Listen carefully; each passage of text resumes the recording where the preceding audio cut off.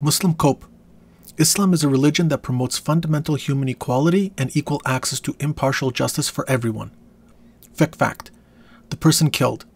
Retaliation is only carried out on him if his blood is of equal value or more valuable than the blood of the person who killed, but no retaliation is carried out for someone's blood which is less valuable on account of someone whose blood is more valuable, and two qualities are taken into account here Islam and being free.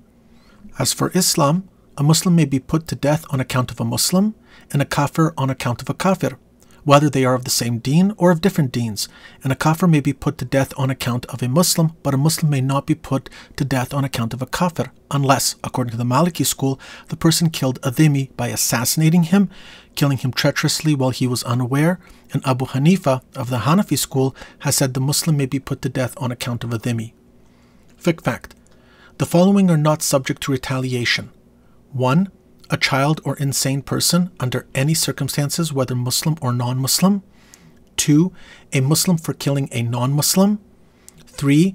A Jewish or Christian subject of the Islamic State for killing an apostate from Islam because a subject of the state is under its protection, while killing an apostate from Islam is without consequences. 4. A father or mother or their fathers or mothers for killing their offspring or offspring's offspring.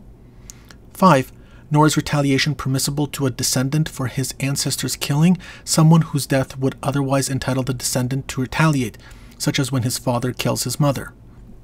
Fiqh fact.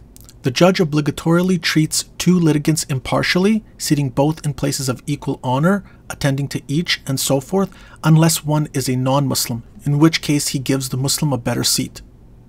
Muslim reality. Muslims and non Muslims do not enjoy equal access to legal justice from the Islamic State. Discrimination against non Muslims by the state is fundamentally integral to Islamic law.